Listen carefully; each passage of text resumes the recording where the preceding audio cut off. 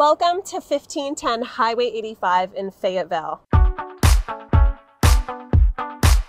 These office suites have an amazing location just north of the pavilion but south of Fun Spot. Let's go check them out. Here we are in unit one. It includes this little front area with a kitchenette.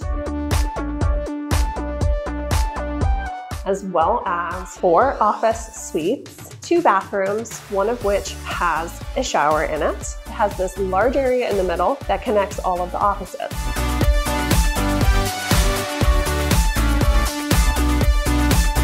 And what I love about this is we have access to the common area. And this common area is shared not only for this unit one, but also for the units upstairs.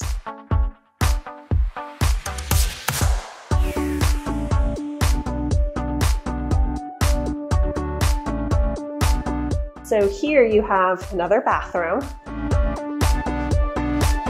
as well as this space that everyone can share. It's a conference room, it's a larger room, it can fit a lot of people, and everyone can have a shared use of that.